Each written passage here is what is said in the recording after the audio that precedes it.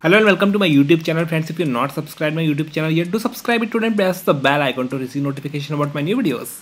In this video, we will see the top features of Windows 11 23H2 update. So let's get started. So the first top feature is Windows Copilot and the Windows Copilot is basically an AI powered assistant tool that is deeply integrated with the operating system. It can analyze screen content and offer recommendations based on the user's current activities and online browse. And with these functionalities, it aims to replace Cortana as a daily personal assistant for users. And you can see that the Copilot preview is here. The Copilot preview button is present on the taskbar. When you click on it, the sidebar opens with Windows Copilot preview and you can use this tool to manage day-to-day -day tasks and you can also sign in to this tool for more questions and have a longer conversations. So this is the most highlighted feature for version 23 h2 update. Another big feature with version 23 h2 is home page inside the settings app. So when you open the settings app on version 23H2, you will see this home page. And using this home page, you can uh, manage the most common settings you would need to configure. Like here you can see that recommended settings are here. You can turn off Bluetooth, manage devices, personalize your device directly from the home page inside the settings app. This is a nice enhancement in case if you have signed in with the Microsoft account on your Windows 11 you can also manage some additional settings. Up next we have another feature which is introduced with Windows 11 23 H2 update. And here Microsoft have added the view Wi-Fi keys easily support. And for this you have to simply open the settings app and go to network and internet. Select Wi-Fi. Select your network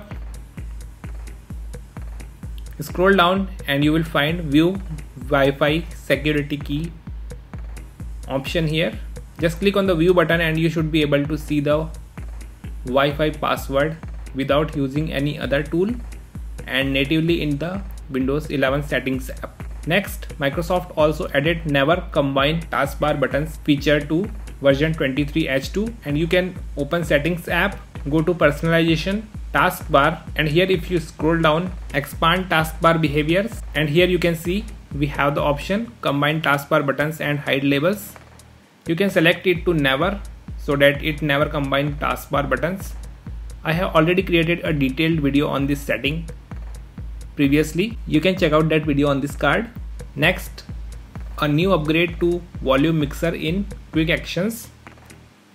And when you open quick actions you will see this volume mixer icon and when you click on it you will see that you have the volume mixer settings here. You can individually manage volume for specific applications. And also you can control the volume for these applications. And Microsoft also added the keyboard shortcut for this and that is Windows plus control plus V you can directly access volume mixer using that keyboard shortcut. With version 23h2 for windows 11 you also get voice access for login. Voice access feature is already in windows 11 but now microsoft added the support so that you can use voice access for login. When you open the voice access feature you can entirely manage its settings. You have to simply open the voice access settings using the settings app and here you have to select start voice access before you sign into your PC. You should have voice access feature already configured for this. I have created a detailed video on this with live demo of logging into Windows 11 using voice access. You can check out that video on this card.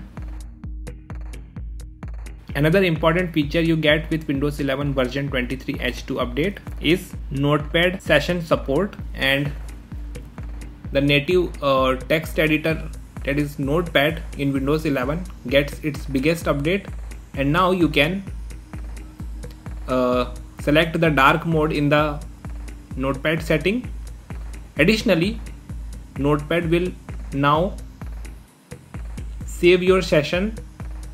And when you uh, abruptly close it it won't prompt you to save the text uh, save the file or text and it directly closes because it saved the session. And when you next time open up notepad you would be able to open that working document from where you uh, left it.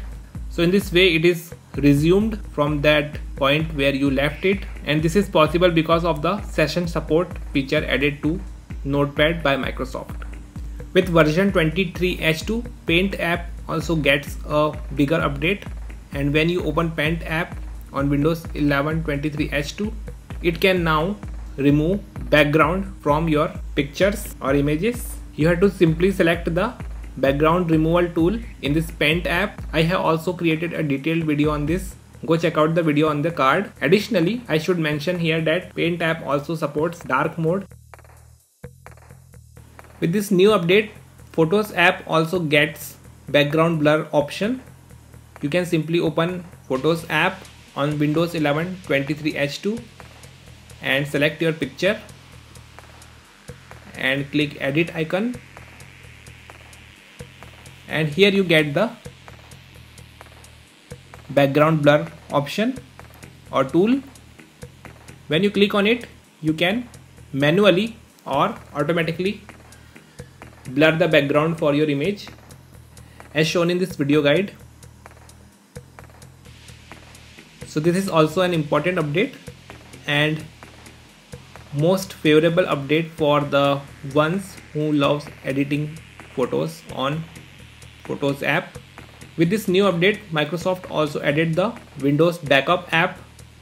Now you can backup your windows 11 data and settings along with credentials and apps and this would be helpful for those people who want to migrate from the old PC to new PC you can simply create a backup on the old PC and restore it back using this Windows backup feature on the new PC. In version 23H2, you also get Dev Home app, which is a brand new app that aims to make it easier to set up a device as a developer workspace. With it, you can connect to GitHub, perform basic settings, load the winget configuration to automatically download developer tools and programs, and use the dev drive feature to create a separate disk partition with REFS file system. So dev app is particularly helpful for the developers and it is a important app now included with version 23H2 of Windows 11. With version 23H2 you get a lot of improvements with file explorer as well. And here you can see that when I uh, click on the details button on the file explorer it shows the detail. And if you select a single item you should see more information about that item. Additionally i seen many improvements to the share bar. And when you uh, right click on any item on the file explorer and select share you can see that this share context bar is now updated its UI is updated and looks now very uh, interesting and appealing and last big improvement I see with the Windows Spotlight feature. You can uh, see a lot of improvements with Windows Spotlight, particularly on the desktop when you personalize your uh, Windows 11 desktop with Spotlight.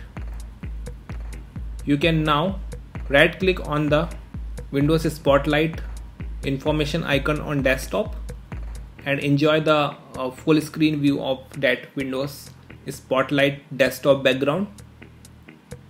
And you can see the more information in this flyout menu. You can switch to any other picture if you like. And you can also minimize this flyout bar so these were some important features of windows 11 version 23 h2 that's it for now in this video. Thanks for watching it. If you found it helpful do like it share it and don't forget to subscribe to my youtube channel for more videos